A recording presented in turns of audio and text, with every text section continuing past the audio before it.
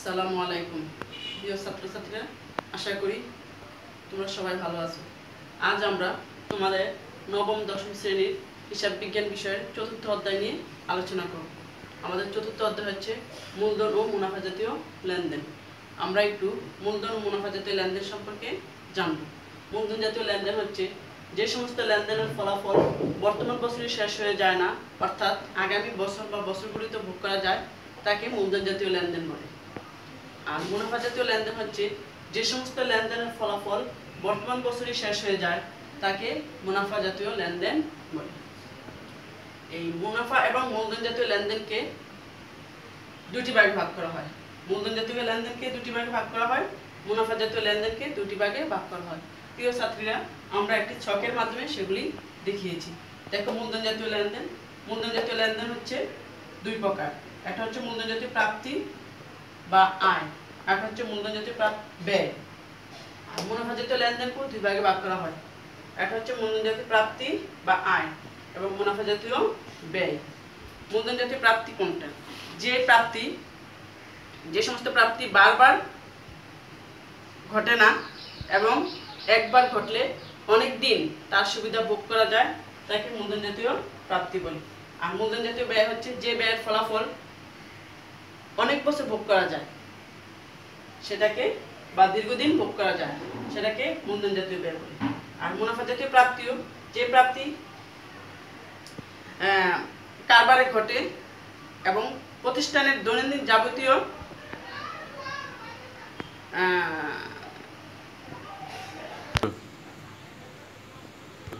হ্যাঁ মুনাফা জাতীয় প্রাপ্তি দুই প্রকার। মুনাফা জাতীয় প্রাপ্তি হচ্ছে যে প্রাপ্তি বারবার কারবারে ঘটে এবং প্রতিষ্ঠানের দৈনন্দিন ব্যয় মেটানো হয়, তাকে মুনাফা জাতীয় প্রাপ্তি বলে।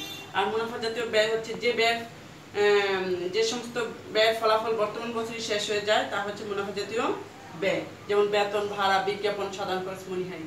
আজকে আমরা তোমাদের পাঠ্য বইয়ে দুই নম্বর অঙ্কটি করব। তোমরা প্রত্যেকে একটু মেন পাঠ্য বইটা খোলো। পাঠ্য বইটা প্রথমে আমরা অনুচ্ছেদটা পড়ব।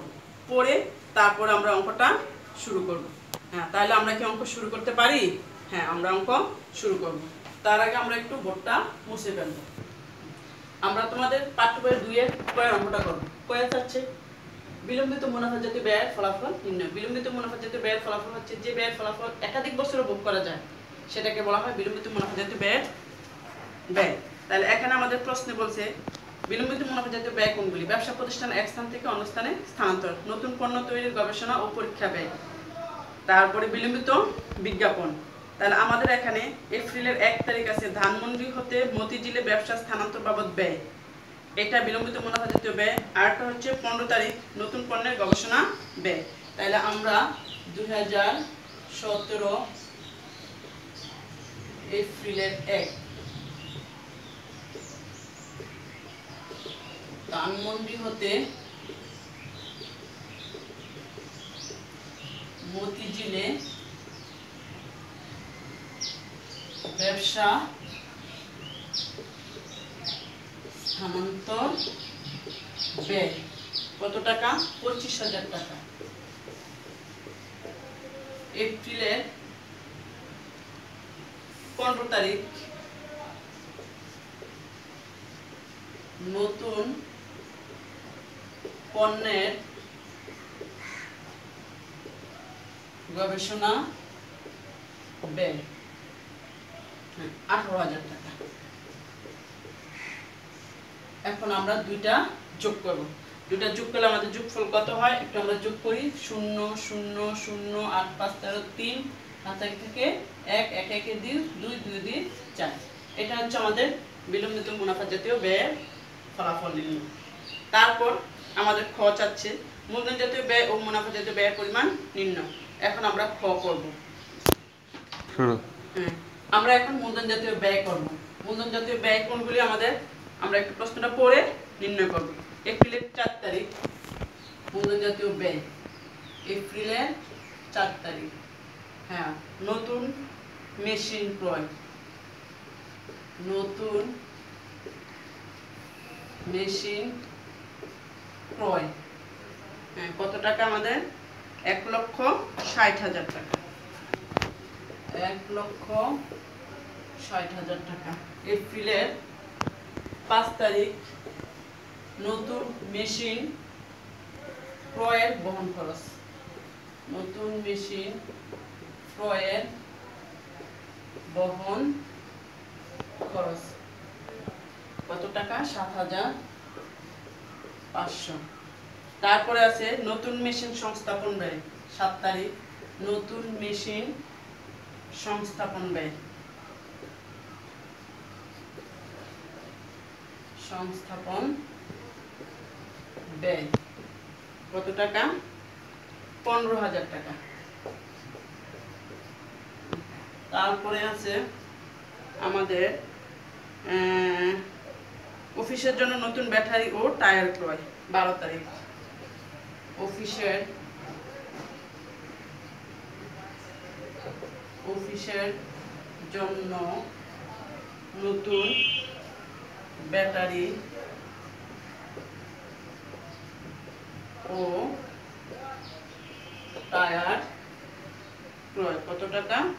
চল্লিশ হাজার টাকা। চল্লিশ হাজার টাকা। এই ছিল আমাদের মূলধন জাতীয় লেনদেন। তাহলে মূলধন জাতীয় লেনদেনের ফলাফল আমরা একটু যোগ করি। শূন্য শূন্য পাঁচ সাত পাঁচ বারো বারো দুই হাত থেকে এক, পাঁচ ছয় ছয় ছয় বারো দুই দুই লক্ষ পঁচিশ বাইশ হাজার পাঁচশো। এখন আমরা করব মুনাফা জাতীয় ব্যয়।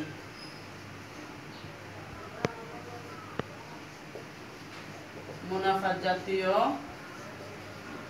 ব্যয়। মুনাফা জাতীয় ব্যয় কোনগুলি? যে ব্যয়ের ফলাফল আমরা এক বছরের কম সময় আমরা এখন করব মুনাফা জাতীয় ব্যয়। মুনাফা জাতীয় ব্যয় দুই তারিখে বলছে মনিহারি দ্রব্যাদি ক্রয়। কত? তিন হাজার টাকা। আর দশ তারিখ বলছে পুরাতন কম্পিউটার ব্যয়, মেরামত ব্যয়। তাহলে পুরাতন কম্পিউটার মেরামত ব্যয় তিন হাজার। মোট কত হলো? ছয় হাজার। তাহলে আমাদের মূলধন জাতীয় ব্যয়ের পরিমাণ কত? দুই লক্ষ বাইশ হাজার পাঁচশো এবং মুনাফা জাতীয় ব্যয়ের পরিমাণ হচ্ছে ছয় হাজার। এই ছিল আমাদের দুই এক পার্ট এখন গ আমরা করব। এখন আমরা করব গো। গয়ে বলছে চার তারিখে কৃত মেশিন, এক লক্ষ পঁচানব্বই হাজার টাকা বিক্রি করা হলে মূলধন জাতীয় প্রাপ্তি ও মূলধন জাতীয় আয়ের পরিমাণ নির্ণয় করো। আমাদের প্রশ্ন এসেছে, মূলধন জাতীয় প্রাপ্তি ও মূলধন জাতীয় আয়ের পরিমাণ। আমরা প্রথমে মূলধন জাতীয় মূলধন জাতীয়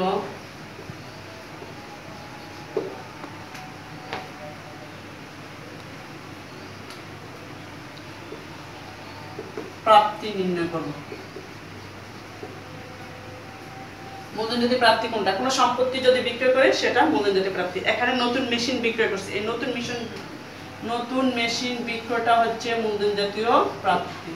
নতুন মেশিন বিক্রয়। কত টাকা? এক লক্ষ পঁচানব্বই হাজার টাকা। এটাই হচ্ছে আমাদের মূলধন জাতীয় প্রাপ্তি। এরপরে চাচ্ছে মূলধন জাতীয় ব্যয়, সরি, আয়। এখন আমরা করব, তার আগে আমরা করব মূলধন মেশিনের ক্রয় মূল্য নির্ণয়। মেশিনের ক্রয় মূল্য।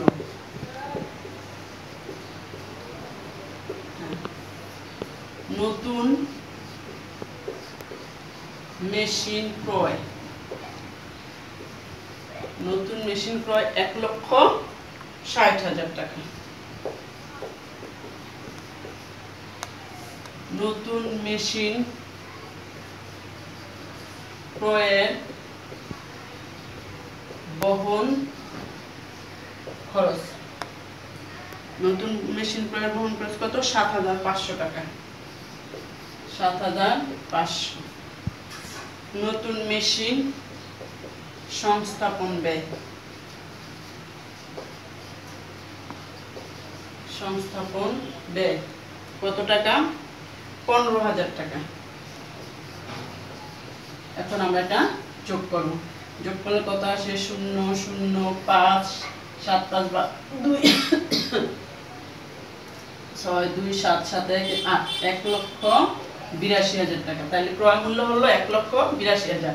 আর বিক্রয় মূল্য হচ্ছে এক লক্ষ পঁচানব্বই হাজার। এখন আমরা মূলধন জাতীয় আয় বের করব। মূলধন জাতীয় আয়। আয় বের করতে হলে ক্রয় মূল্য থেকে বিক্রয় মূল্য আমরা বাদ দেব। ক্রয় মূল্য এবং বিক্রয় মূল্য, এই দুইটার সাথে আয়ের সম্পর্ক। বিক্রয় মূল্য বেশি হলে আয় হবে, ক্রয় মূল্য বেশি হলে ব্যয় হবে। তাহলে আমরা লিখব বিক্রয় মূল্য